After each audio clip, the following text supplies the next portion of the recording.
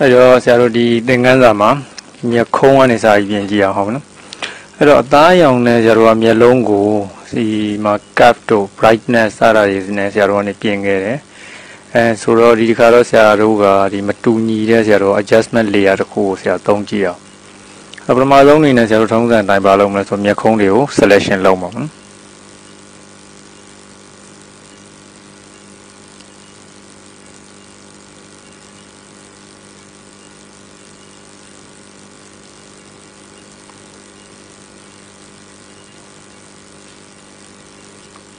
အဲ့မှာကျတော့ add to selection ကိုနှိပ်ထားရမယ်နော်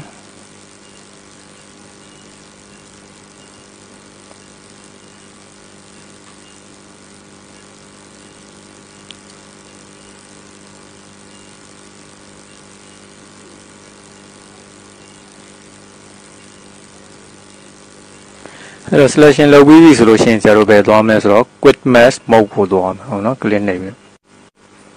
ပြီးလို့ရှိရင်တော့ဆရာတို့ကနေပြီးတော့ filter က blur မှာ Gaussian blur ကိုရွေးမယ်အဲ့တော့ခါတိုင်းလိုပဲဆရာ radius ကို2ပဲထားပြီးတော့ဆရာ okay လို့နှိပ်လိုက်ပြီးရင်ဆရာတို့ standard mode ကိုပြန်လာမယ်ဟုတ်ပြီပြီးရင်ဆရာတို့ ਨੇ adjustment layer တခုထည့်မယ်အဲ့တော့ adjustment layer ကဆရာဘာသုံးမလဲဆိုတော့ဒီနေရာမှာဆရာ photo filter ဆိုတဲ့ဟာလေးကိုဆရာသုံးလိုက်အဲ့တော့ photo filter မှာဆရာလို့ရှိရင်သူ့မှာငကိုရှိနေတဲ့ဒီဟောပါတော့ filter ပုံစံလေးဆရာမလိုချင်ဘူး အဲကြောင့်မို့ဆရာတို့အောက်က color ကိုရွေးလိုက်မယ်ပြီးတော့မှဆရာတို့က color ဒီ box လေးမှာ click နှိပ်ပြီးတော့ကိုကြိုက်တဲ့အရာတစ်ခုကိုရွေးမှာပြီးရင်တော့ okay ပေါ့အဲ့တော့ color ကိုဆရာတို့နေဘလောက်အနေများလိုချင်လဲဆိုတဲ့ဟာကြတော့ဆရာတို့ဒီ density မှာသွားပြီးချိန်ရအဲ့တော့ density မှာကိုလိုချင်တဲ့ပမာဏကိုဆရာတို့ချိန်ယူပြီးလို့ရှိရင်တော့ဆရာတို့သူ့ကိုပိတ်လိုက်လို့ရတယ် အဲ့တော့ဆရာတို့သူ့ကိုလည်း layer name မှာတပည့်ကလေးနှိပ်ပြီးတော့အဲ i ဘိုးလို့ပေးထားလိုက်မယ်သူ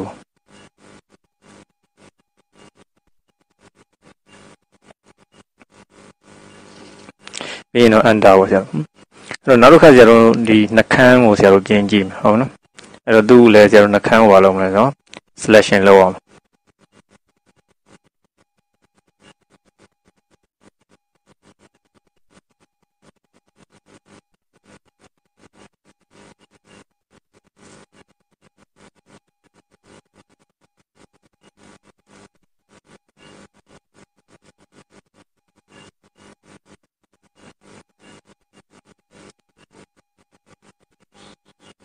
အဲ့တော့ selection လုပ်ပြီးသွားရင်တော့ကျတော့ထုံးစံတိုင်းပဲသွားမလဲဆိုလို့ရှိရင်ကျတော့ quit mask mode ကိုသူ click နှိပ်မယ်ပြီးလို့ရှိရင်ကျတော့နေပြီးတော့ဒီ Gaussian blur ကိုသွားပြီးတော့ရွေးမယ် radius 2ထားပြီးတော့ okay လို့ပဲဆရာတို့နှိပ်လိုက်အပြီးလို့ရှိရင်ကျတော့ standard mode ပြန်လာမယ်အဲ့တော့ဒီတစ်ခါ adjustment layer ကဆရာဘာထည့်မလဲဆိုတဲ့အခါကျတော့ channel mixer ဆိုတဲ့ဟာလေးကိုဆရာထည့်မယ်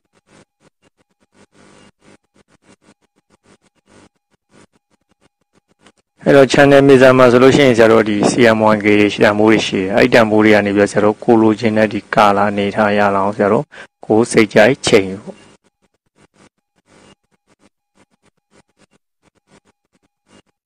အဲ့ကိုစိတ်ကြိုက်နေထားရပြီဆိုလို့ရှိရင်တော့ဆရာတို့သူ့ကိုပိတ်လိုက်မယ်